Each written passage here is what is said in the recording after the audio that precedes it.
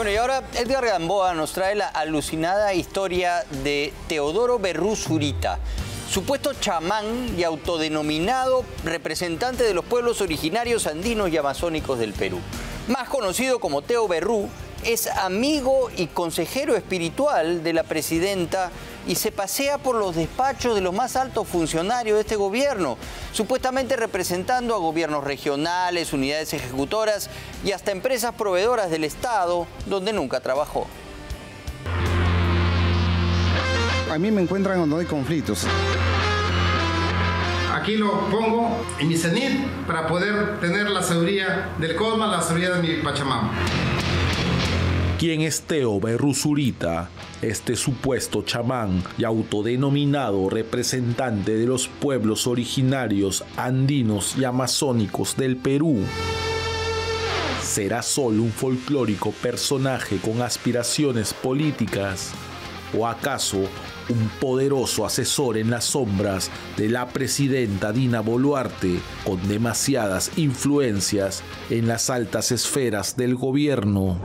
Esta noche en Contracorriente, la historia de Teo Berrú, el amigo y consejero espiritual de la presidenta, quien se pasea como Pedro en su casa por los despachos de altos funcionarios públicos, representando a gobiernos regionales, unidades ejecutoras y hasta empresas proveedoras del Estado, donde nunca trabajó.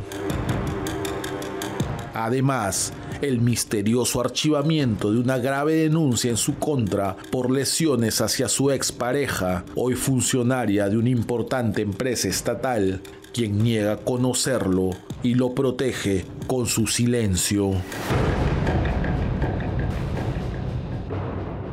Yo tengo 20 años en gestión pública.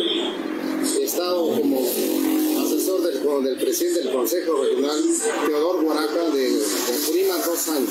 Coordinador de la oficina de enlace, tres años como gestor público en la Municipalidad de Lima, más de ocho años. He sido jefe de Relaciones Públicas de Independencia, he sido director de comunicaciones de la Municipalidad de Coma, he sido eh, eh,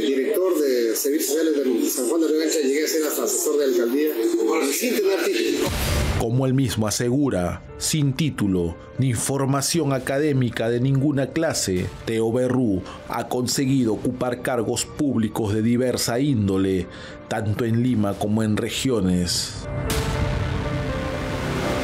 Su último trabajo para el Estado, del que existe registro, fue en el Ministerio de Cultura en 2017, donde brindó el servicio de asistencia en interculturalidad con una orden de servicio por 3.000 soles.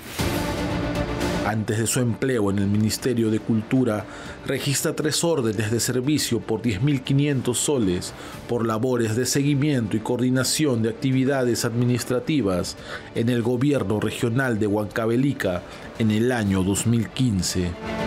¿Será acaso el poder oculto de este chamán ocupar puestos en el Estado sin tener la formación académica requerida? Tanto se vanagloria de su suerte que incluso bromea con ello entre sus amistades. Yo les digo que yo soy CPC en, en sorna de broma, CPC, o sea, muchos dicen contador público colegiado, y digo, no, yo soy casi primaria completa, pero tengo la experiencia suficiente donde he desarrollado toda mi sapiencia, mi experiencia, mi conocimiento. Y yo...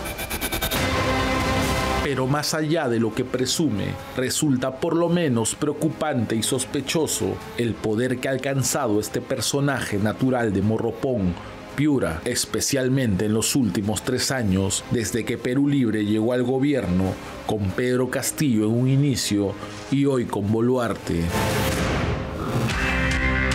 Y es que, aunque hoy no ocupa ningún puesto en el Estado, Berro estuvo voceado al inicio del régimen castillista como ministro de Cultura en el gabinete Bellido. Finalmente fue Ciro Galvez el elegido, pero la propia prensa izquierdista tuvo al chamán como posibilidad. Yo no me gusta hablar de lo que yo hago, la gente habla de lo que hago. Como usted sabe, yo tengo enemigos, pero también más tengo amigos. Gente que reconoce mi labor y también oye tío, pero tú eras propuesto para ministro de Cultura. Sí, efectivamente.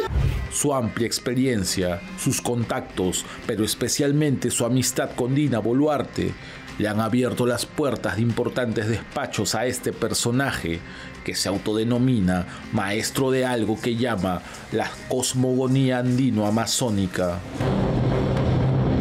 Desde el segundo semestre del 2021, es decir, después de la toma de mando de Pedro Castillo, Teo Berrú registra más de 30 visitas a organismos del Estado, siendo las más recurrentes los Ministerios de Desarrollo e Inclusión Social, MIDIS, Justicia, Desarrollo Agrario y Riego, Trabajo, Cultura y Vivienda.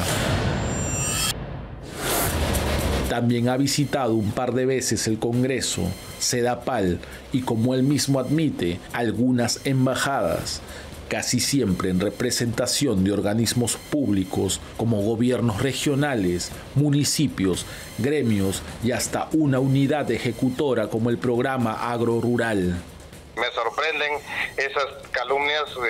No son calumnias, es, es información pública, señor Berrún. Yo he hecho una gestión a pedido de del gobierno nacional de Ucayali a Donoren, a Donoren y nadie me va a fingir que yo pueda hacer una actividad, uh, una gestión pública, ¿no? Gestión pública, tanto privada como, como pública. ¿Qué otros gobiernos regionales ha apoyado usted como, a como nadie usted? Más, a nadie más. También he ido a algunas embajadas por si acaso a hacer gestiones de, de diplomacia. Si realmente tuviera el poder de la clarividencia, Teo Berrú se comunicó con nosotros para pedirnos que no lo acosemos. Esto después de que visitáramos un par de inmuebles, uno en el que supuestamente nunca habitó y otro en el que no tienen muy buen recuerdo de él. 15 años atrás solamente vivió dos meses, tres meses. En esa posición, él hizo uso de unos, de unos este, recibos de luz, se aprovechó y cambió su DNI porque él quería ser este postura acá como regidor de la municipalidad de Independencia. Ah, ya. Desde esa fecha nosotros le hemos anulado. Son 15 años que ha pasado.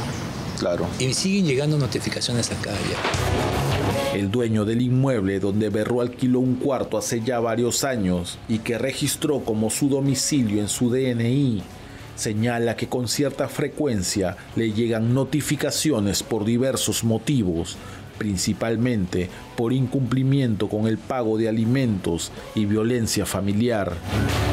La última que una publicación habrá sido hace dos meses, tres meses, cuando salió el escándalo de la televisión, que salió que era este, asesora de Linda Maguarte y toda esa cosa, ¿no? Y ahí ya no. Pero no vino con, con, ese, con esa ambulancia, vino con maltrato familiar. Violencia familiar o más bien violencia de género, como la que refiere la denuncia hoy archivada, hecha por la abogada Jessica Giovanna Silva Napuche el pasado 2 de febrero del 2022, fecha en la que habría sido agredida por Berrú dentro de su negocio, el restaurante de comida regional Pachamama en el cercado de Lima. A fin de aclarar lo que pasó aquel día, llamamos a Jessica Silva, quien según la denuncia era pareja de Berrú por aquellos días y hasta habría estado embarazada. Sin embargo, esto fue lo que ella nos respondió. Pero aparece una, una denuncia policial contra el señor Teodoro Berrú. Sí, pero ese tema ya se, se aclaró en su momento y ya no, no hay nada que hablar de ese tema. ¿Usted es pareja de él? ¿Sigue siendo su No. pareja? No, no soy pareja. Porque acá figura como que su pareja, bueno, o fue su pareja Y incluso. no lo conozco tampoco. Y entonces, No, sí, sí tengo conocimiento porque yo fui la abogada de, de la parte denunciada. Pero le digo que ese tema ya está archivado y no, no hay nada que hablar. Ah, o sea, usted no lo denunció por agresión a usted, sino usted fue abogada de la persona agredida, en todo caso. Así es, hay una confusión. Eso es todo. Ahorita estoy en reunión. No hay nada que decir. Gracias. Este es el certificado médico legal practicado a Jessica Giovanna Silva Napuche, el cual concluye que presenta huellas de lesiones traumáticas recientes. Este documento desmiente por completo la versión dada vía telefónica. Lo cierto es que la respuesta de Jessica Silva a nuestra llamada y el hecho de que Berrú fuese quien nos llamara luego de unas horas deja muchas sospechas, tantas como la visita que el chamán realizó a Sedapal el 18 de enero de este año, donde quedó registrado como emisario de la empresa proveedora del Estado, Delta Supply Inc. e IRL. ¿Cómo se relaciona esta visita con la denuncia de Jessica Silva? Pues resulta que poco después, el 17 de abril, ella fue contratada por Sedapal en la jefatura del equipo de Administración Sur. ¿Coincidencia? Yo no conozco a ninguna empresa Delta Supply. Me, sorprenden esas calumnias. No son calumnias, es, es información pública, señor Berrú. Para el penalista Luis Lamas Puxio, que un personaje como Berrú tenga las puertas abiertas a importantes entidades, aprovechando sus conexiones con las esferas más altas del gobierno, amerita por lo menos una investigación de oficio por parte de las autoridades. Lo que sucede acá es que hay una cantidad bastante significativa de visitas, llama poderosamente la atención para saber a ciencias ciertas por qué razones se visitó. Lo mínimo que correspondería es que el Ministerio Público iniciara una indagación. Personajes como Teo Berrú parecen ser moneda común en el gobierno de turno siempre buscando aprovechar sus conexiones, sus amistades y cercanías con el poder. Por lo visto, hay muchos misterios detrás de este chamán que no parece haber logrado aún su propósito. Yo no represento ministerios, yo no soy representante. Los representantes de los ministerios son los ministros. Yo no soy ministro todavía.